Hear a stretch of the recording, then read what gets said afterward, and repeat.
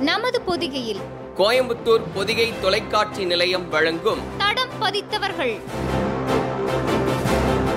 வரலாற்றில் இடம்பெற்றவர்களின் வரலாறு. இந்த வாரம் அருட்செல்வர் பொள்ளாச்சி நா மகாலிங்கம். ஆறு ஒன்பது இரண்டாயிரத்தி இருபது ஞாயிற்றுக்கிழமை பிற்பகல் ஒரு மணிக்கு. காணத் தவறாதீர்கள். தடம் பதித்தவர்கள்.